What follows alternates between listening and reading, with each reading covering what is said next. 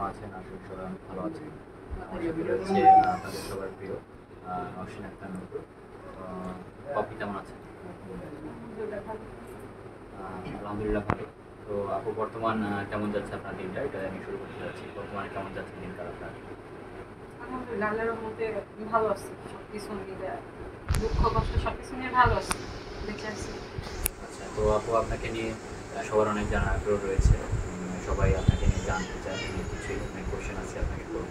তো আমি শুরুতেই শুরু করতে চাই একদম আপনাকে শুরু থেকে। যখন আপনি ছোট ছিলেন, সেই বিষয়ে আপনি জানতে চাই যে ছোট, যখন আপনি ছোট ছিলেন, আপনি কোথায় ছিলেন, ঢাকায় নাকি গ্রাম? কেমন ছিল আপনার ছোটবেলার জীবন? ঢাকাতেই ছিলাম।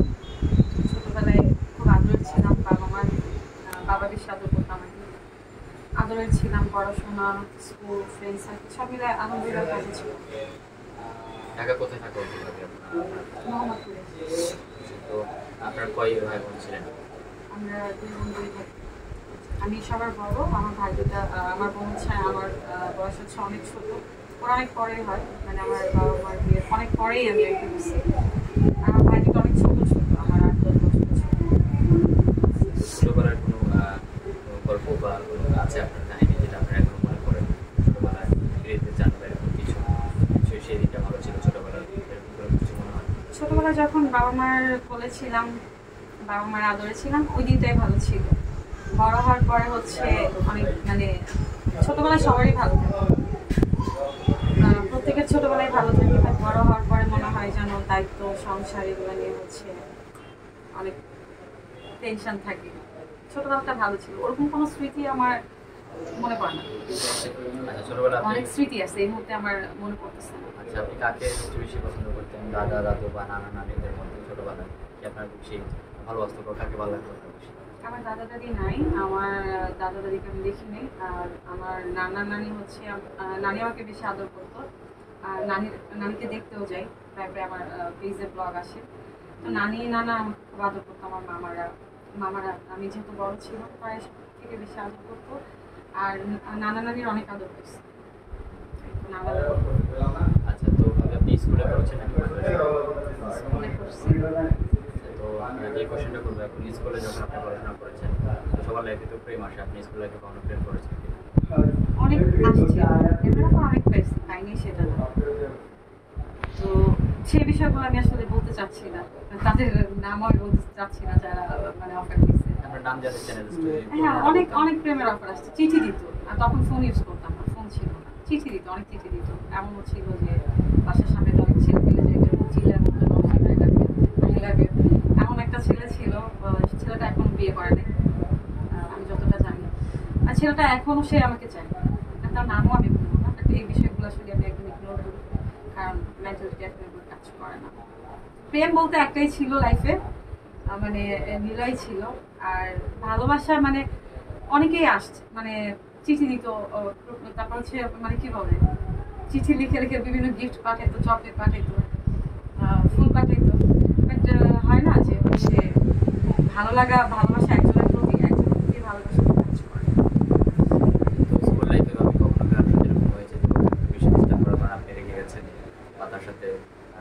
রাগ প্রকাশ করেছেন বা কোনো কিছু এরকম ঘটেছে? আমার ওরকম কোনো ঘটনা ঘটে নাই বাট আমাকে যদি কেউ রাস্তায় চলার পথে কেউ ইফটিজিং করতো এখনও এটা হয় যে ইফটিজিং করলে আমি মানে রাগ হয়ে। যায়। হ্যাঁ একবার একটা ছেলেকে আমি দুইটা ছেলে ইফটিজিং করছিল এরকম ঘটনা ঘটছিল আমি রাবের হাতে দিয়ে দিচ্ছিলাম এটা নিয়ে পেপারে মনে হয় নিউজ লিখছিল তখন অনেক আগে সেটা। আমি যখন এসএসসি ইফটিজিং জিনিসটা আমি এখনও আমি নিতে পারি না। রাস্তায় বের হলে এখন ছোট ছোট বাচ্চাও ইফটিজিং করে। ছোট ছোট বাচ্চারাও আছে। মানে কি বলব মানে ছোট না অত ছোট না। তো এই জিনিসটা আসলে নিতে পারি। না আচ্ছা তো তখন স্কুল লাইফে ভাবি আপনার কীরকম প্রিপারেশন ছিল? আপনি তখন কি প্রেম লাইক করতেন নাকি করতেন না? আপনার কেমন ছিল বা কীরকম ইচ্ছে ছিল? আপনি ইচ্ছে বিয়ে করবেন নাকি ফ্যামিলির ইচ্ছে প্রেম করবেন? Family ইচ্ছে কেউ প্রেম করে গাধা মানে বিয়ে করবেন আর কি ইচ্ছে না ফ্যামিলি খুব শাসনে রাখতো প্রচুর শাসনে রাখতো ওইখানটা হচ্ছে ফোন ইউজ করতাম না। এসএসসিতে আমরা যখন স্কুল লাইফে কোনো ফোন ছিল না বাবা অনেক শাসন করতো। তখন ওরকম কাজ মানে অনেক শাসনে পড়াশোনার মধ্যে থাকতাম। স্কুলে কোনো প্রিয় শিক্ষক ছিল আপনার স্কুলে? প্রিয় টিচার ম্যাডাম তাদের সাথে কোনো একটা মজার কথা বা কেউ আপনাকে পরীক্ষা করানো কপি করেছেন কিনা বা চুরি করে পরীক্ষায় অনেক নকল করছি। আমি নকল করছি পরীক্ষায় অনেক। আমরা কয়েকটা ফ্রেন্ড ছিলাম বান্ধবীরা মিলে। তো নকল করতাম। কাগজে লিখে হচ্ছে হাতের মধ্যে নিয়ে যাওয়া তারপর স্কুলে কলেজের একজন টিচার আমার ছিল আজাদ স্যার। উনি আমাকে মেয়ের মতো জানতো আর বলতো বাবা বলে ডাকতে। তো উনি আমাকে অনেক আদর করতো। এমনও হয়তো দুপুরবেলা খাবারের জন্য স্কুল লাইফে টিচার বলতে হ্যাঁ ম্যাম আছে। অনেকগুলো ম্যাম আছে সাকিমা ম্যাম তারপর হচ্ছে ফারজানা ম্যাম অনেকে মানে এটা অনেক আগের এত মনে থাকে না। আর এখন যে একটা আঘাত পেয়ে আসছি মানে অনেক কিছু আমি মানে মনে নেই আমার। বাট আজাদ যে স্যার ছিল আজাদ স্যার উনি হচ্ছে আমাকে খুব ভালো জানতো, মেয়ের মতো। এখনও মনে হয়, আমি জানি না স্যারের নাম্বার নেই আমার সাথে কন্ট্যাক্ট নাই। এটা আসলে বিয়ের পর হচ্ছে কারোর সাথে ফ্রেন্ড সার্কেল তারপর কারোর সাথে আসলে কন্ট্যাক্ট নাই। বাট এখন অনেকেই মানে পুরনো যারা, পরিচিত মানে ফ্রেন্ড যারা, ওদের সাথে কথা হয়। যেমন আমার এই বিপদ যাওয়ার পরে আমার দুইটা বান্ধবী সব থেকে আমি বেশি বলব ভিডিওর মাধ্যমে মিম ওর একটা বাচ্চা হয়েছে। বাট ও আমাকে এত মানসিক সাপোর্ট দিছে খারাপ সময়গুলোতে মানে মেয়ে বান্ধবী হিসাবে মিম আর নাবিলা ওরা দুইজন মানে হচ্ছে প্রচুর সাপোর্ট দিছে। মানসিক সাপোর্ট যেটা বলে সবসময় বোঝানো। মিম আর নাবিলা দুজন বান্ধবী আমার খুব। আর কলেজ লাইফেও ফ্রেন্ড সার্কেল যারা সবাই মানে দেখতে আসছিল হসপিটালে বাট আমি জানি না।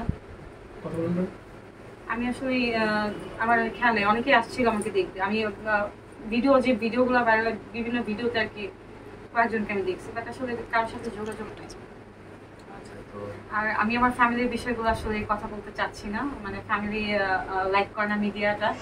তারা চায়ও না মিডিয়াতে।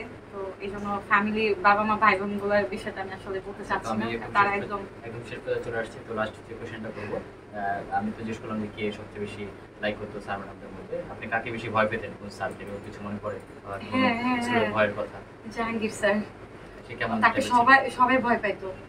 মানে উনি এত মানে আমার মনে আছে মজার একটা ঘটনা আমরা একবার পড়া পারি নাই। তো হচ্ছে কাঁঠাল পাতা নিম পাতা বাহিরে মানে স্কুলের যে বারান্দা বারান্দা থাকে স্যার হচ্ছে পড়ানো পারলে বেদ দিয়ে এমন পিটাইতো মানে ওইটার দাগ মনে হয় পনেরো দিন থাকতো। আর হচ্ছে একবার বাহিরে যারা যারা পড়া পারতো না ছেলে মেয়ে আমরা যারা পড়া পারতাম না আমাদের ব্যাকরণ ক্লাস নিত স্যার। তো হচ্ছে বাহিরে বেলকনিতে দাঁড়া করে মানে বারান্দা যেটা বলে। কাঁঠাল পাতা নিম পাতা এরকম আইনা খাওয়াইতো মানে নিম পাতা এনে আহ, চাবাইতে হবে। খাবার নিম পাতা তো অনেক তিতা থাকে। আর স্যারকে মানে স্যার স্কুলে পাড়া রাখলে সবাই ভয় পেত পুরো স্কুল। সবাই মানে আমরা সবাই শুধু আমি না সবাই ভয় পেত। আর ওনার পড়াটা সবাই আগে মুখস্থ করার চেষ্টা করতো। আচ্ছা তো ভাবলি ক্লাস থেকে ওয়ান সরি ওয়ান থেকে টেন পর্যন্ত আপনি যখন স্কুলে পড়াশোনা করেছেন আপনার হাইয়েস্ট মানে সর্বোচ্চ মানে ভালো রেজাল্ট কোনটা ছিল রোল কত ছিল? আমার রোল হচ্ছে ক্লাস মনে? ফাইভ পর্যন্ত না সিক্স পর্যন্ত আমার দুই তিনের মধ্যে ছিল। দুই তিন হ্যাঁ দুই তিনের মধ্যে ছিল। তারপর হচ্ছে এসএসসি পয়েন্ট আমার কত? এ মাইনাস ছিল এসএসসিতে এই তো আর ইন্টারে হচ্ছে তোমার কত? মানে ইন্টারের রেজাল্টটা একটু কম। কমার্সে ছিলাম তো একা মানে অঙ্কটা আমি বুঝতাম না। অঙ্ক আমার মাথায় আসলে কাজ করে না। অঙ্কটা মানে আমার একদম আমি পারতাম না। মানে অঙ্কে আমি কোনো রকম টেনে টুনে পাস। তো কমার্সে হচ্ছে রেজাল্টটা একটু মানে খারাপ ছিল কম পয়েন্টের ছিল। তো ভাবে আরেকটা কোশ্চেন যখন বললেন রোল মধ্যে ছিল। এটা হচ্ছে ক্লাস পর্যন্ত। তো তখন আপনার ফিল হতো? বা অনুভূতি কি হতো? যে ওয়ান এক বা দুই যারা আছে আপনাদের হতো আপনার ধারণা ছিল? যাদের রোল এত আগের কথা কি মনে থাকে?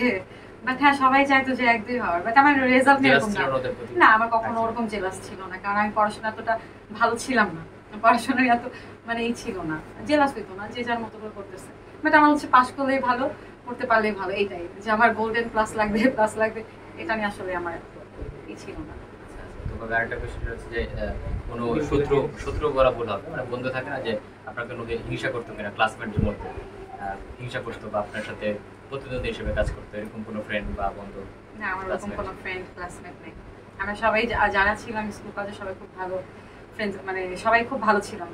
আর যদি আমার যে বান্ধবীগুলো ওরা এখনও পড়াশোনা করতেছে ওরা কিন্তু এখনও ম্যারিড না। ওরা ভালো একটা পর্যায়ে আছে। আমাকে বুঝায় দুই তিনজন বান্ধবী যে যাদের নাম বললাম। আর সবাই মোটামুটি একজনের বাচ্চা হয়েছে কি হয়েছে আর যারা বাকিরা সবাই পড়াশোনা করতেছে। মানে ওরা এখনও অনার্স হ্যাঁ আমি অনার্স ফাইনাল ইয়ারে থাকতাম। সবাই পড়াশোনা করতেছে আমি পড়াশোনা বাইরে। আচ্ছা আচ্ছা ধন্যবাদ। আপনার ছোটবেলার লাইফের বিষয়ে অনেক কিছু দর্শকদেরকে জানানোর জন্য। তো আজকের আমাদের এখানে শেষ করতেছি। দেখা হবে পরের ভিডিওতে আল্লাহ হাফিজ।